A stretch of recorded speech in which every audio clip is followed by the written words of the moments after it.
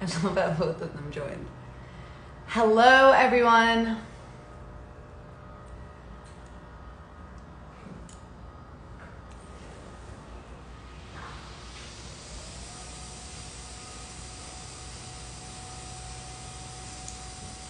We're going to be talking about my skincare. I feel like I've gotten a lot of questions, so we have a lot to cover.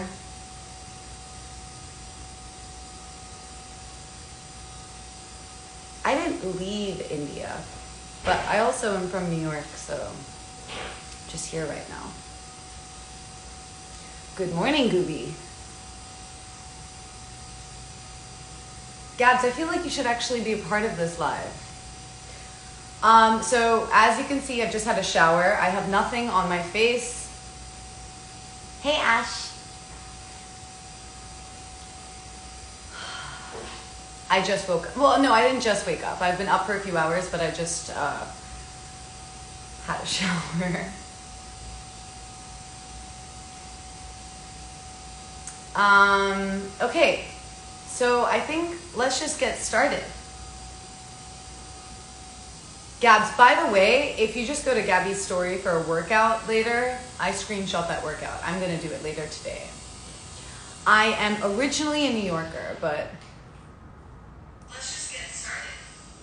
But. Stop. Okay, so.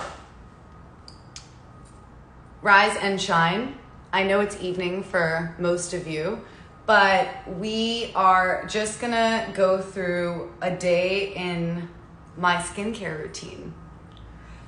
Um, I have been struggling to find the perfect face wash that's not too harsh. I feel like I, although I have combination skin, it's getting drier with age. Um, so I wanted something that was super clean but not super harsh on my skin. And I've been using IS Clinical for about six to eight months now. I use this morning and evening. Also, I just want to say nothing is an ad. Like, I'm not getting paid to sponsor these products in any way. I just, I'm telling you what I genuinely use. Okay, so I start with IS Clinical morning and evening to wash your face. Um, although they say the second step should be a toner, I've taken toner out of my skincare because I really feel like it was doing nothing. Um, I feel like I like to go straight to my serums after washing my face because I have recently learned, fun fact for everyone, that more than your moisturizers, it's it's your serums that you should be investing in and making sure that you put on your face every day. So I use two serums. One's an IS Clinical serum, which I don't have with me currently. Um, and then I use a SkinCeuticals Vitamin C 15%. I would say if you've never used uh, the vitamin C on your face, you should start with a smaller percentage because it can sting your skin, uh, make it a bit red, and it does make you more sensitive to sun. So, I will be getting to the fact that you need to wear sunscreen. So, second step is my vitamin C serum. From there, we, we move, move on to a day cream.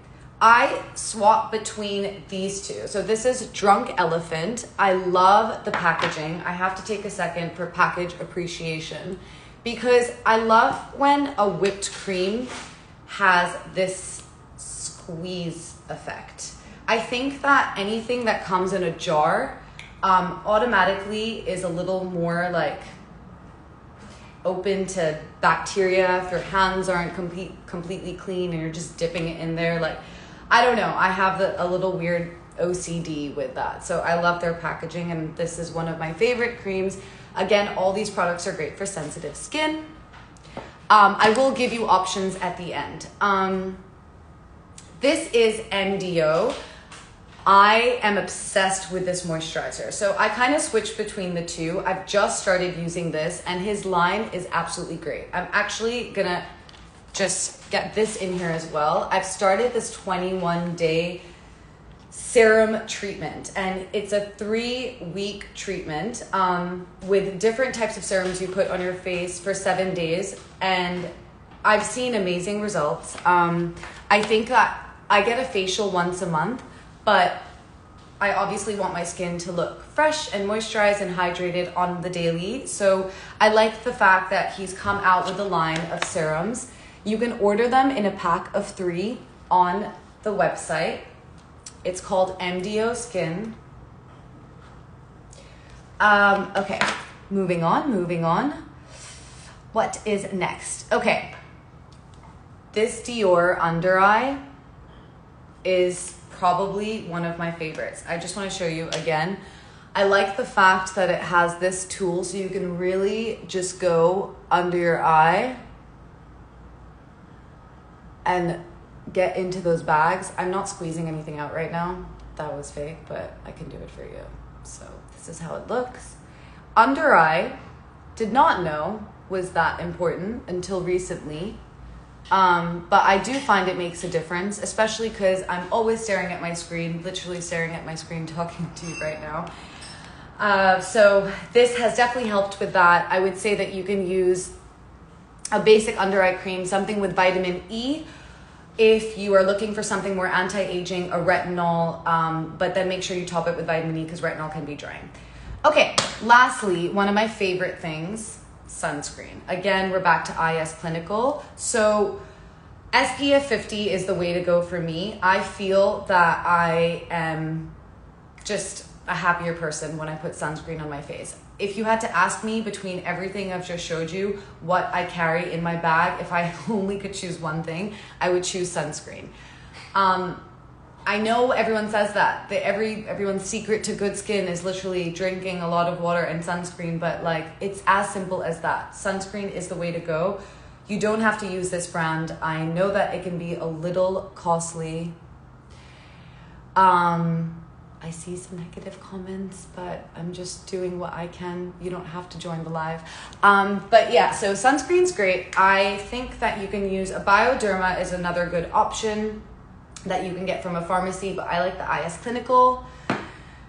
At night, I use the SkinCeuticals hydrating cream. Um, it's just really simple, no fragrance, nothing to it, as basic as it gets. You can definitely find alternatives. You can also DM me and I will give you those alternatives that are in different price brackets because I don't want you to think that something is not affordable. I know that some of these creams can be really expensive and you don't have to spend a lot of money to have a good skincare regime. And always take off your makeup. So I use Bioderma and then I follow it with the face wash. That's about it. I'm just gonna take a photo of all these products and put them on my story now. And If you have any questions, you can DM me and let me know. Um, and that's about it. Thank you for joining me.